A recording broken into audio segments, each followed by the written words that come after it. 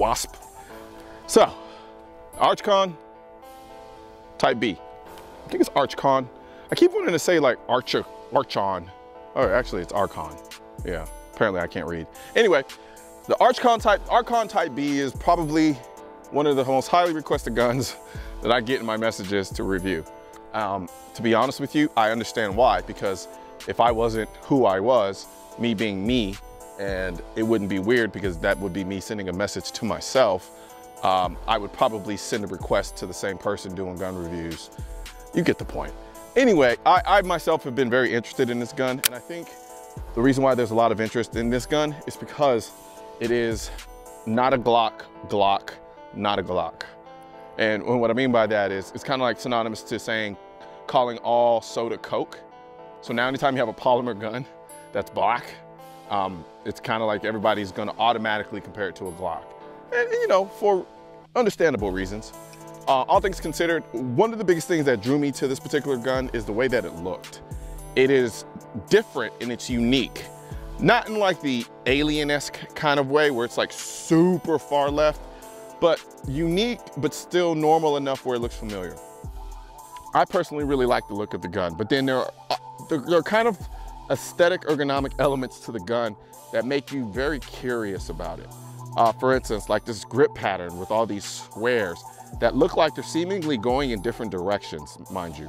Um, this trigger here, this kind of bow trigger, which aesthetically I like, and it looks like when I look at the gun, I think, damn, I kind of want to shoot this gun. This is one of those weird guns where when you see it, you really just want to shoot it because there are so many elements to it that look like they have a purpose, but you're not really sure. Like for instance, this little back deal here, um, like I said, the little texture grip, uh, the trigger, um, to even the slide work, it just looks like it all has function, but then gives it a level of form that makes it look unique. And I can dig it. So I'm gonna do some more shooting and talk about how to shoot.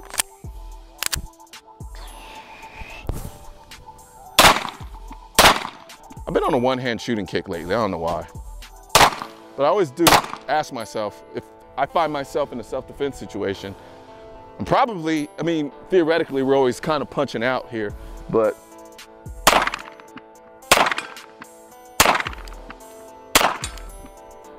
And so I tend to wanna, whenever I get the chance, practice with one hand.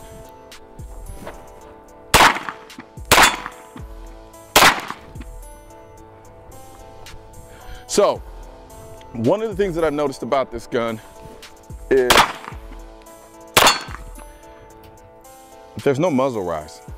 And I really mean that when I say it. It doesn't flip. And I'm notorious for hating guns that tend to flip a lot. It drives me insane. I can't stand guns that are really flippy. This gun shoots really flat from what I can tell and what I'm feeling. And another interesting thing about this gun is this grip texture. It is functional. So uh, what it feels like is going on, if you look here, is, is each of these kind of patterns are going in a different direction. This is going down, this is going right, this is going left, this is going left, this is going left, but then this is going up and then right and then flat. And ironically enough, what's happening, especially out here in the sun, and for those wondering why I'm glistening, no, I did not put on baby oil. It is sunscreen. I know I'm black and it's weird to see a black guy in the sun wearing sunscreen, but we can get cancer too. All things considered, what's happening with this gun is in my hand, it's almost counteracting the recoil of this gun so that it forces the grip of the gun to dig into my hand. Now, I didn't come up with that on my own. That was told to me. And when they was told to me, I was like, yeah, okay, I'm gonna have to shoot it to believe it. It actually works, which is interesting. I kind of like it.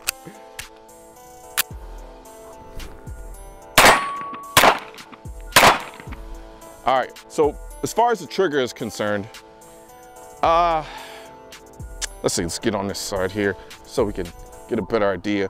See, with this bow face trigger, I like the feel of the trigger on my finger. As far as the actual pull, you get that, that's the wall right there. And then you get the break. And then you reset, is right there. And there's your break. Reset, break, reset, break. So theoretically, this is how I actually shoot is. And I'm back on the wall. And it's really easy to find the wall on this gun. You get a little bit of creep, but it still works. I like it. I like the trigger a lot actually. And god damn, this gun does not flip at all. Like, I mean, look. Nothing, nothing. All right, I'm almost out of mags. Here we go. Another thing that's kind of dope about this gun is it comes with four mags. Usually when I do first mags, I only use the mags that come with the gun, which is usually two, or in my irresponsible manner, I forget or lose the mag, one.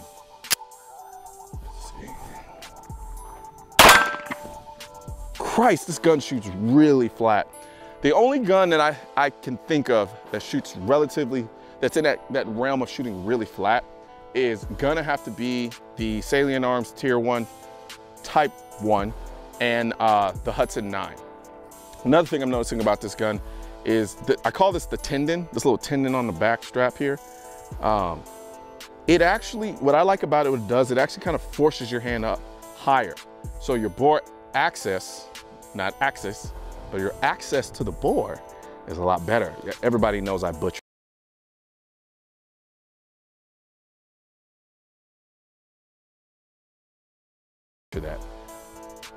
You really get up high on the gun and I, and I like it a lot and it causes the gun to pretty much make the gun feel like you're shooting from bore line, to be honest with you. Um, and I think that's a lot. So you add, you add this texturing, the ability to get up right next to the bore, and just the overall feel of the gun and the balance of the gun, and along with the trigger, gives me that easy wall. It makes for a rather easy gun to shoot. Even all right, how many mags we got? Oh, like three, four, five rounds. Let's see what we got here.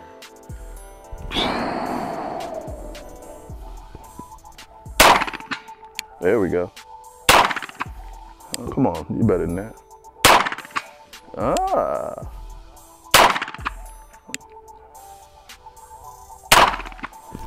All right, uh, two, three out of five is not bad. What are we about? Uh, say about 160, 150. Um, but Archon Type B, I really like it so far from what I'm from what I'm shooting. I really want to put more rounds through it and really get a feel for it. But the one thing that stands out the most to me is how flat it shoots. It's just a really flat shooting gun. Um, the trigger's nice. The grip, this grip is just, I don't know. It it doesn't. It's not supposed to work, but it does. It kind of looks like the scales on a on a snake but I like it. I like it a lot. Yeah. Huh. You know how they say don't don't meet your heroes? I think the same thing can be said in the gun world. Sometimes they say don't shoot your heroes. Basically, don't see a gun that you really, really, really, really love and then say, man, I can't wait to shoot it. And then you shoot it and it sucks. Right now, I don't think this is the case with this gun because I've actually really wanted to shoot this gun for a while now. And now that I've gotten the opportunity to, I'm not disappointed. And I'm a little concerned because the way this gun feels in my hand, especially out here when it's hot and sweaty and I'm glistening, all like LL Cool J style, um, it still, it just, it just, it just sticks to my hand. It's the weirdest thing, but I like it. Archon Firearms, Type B. Full length review coming soon. Right now, there's a culture war against the Second Amendment which is why I need your help spreading our message to counter their message. You can do this by leaving a comment, sharing this video, and click the bell and subscribe button. Let my voice be your voice, and let them know you want to keep America tactical. Because the right to keep and bear arms shall not be infringed wasn't a suggestion, It was a directive. Also, if you're wondering where to purchase your state specific Keep America Tactical shirt, click the link under the Keep America Tactical in the description section of this video.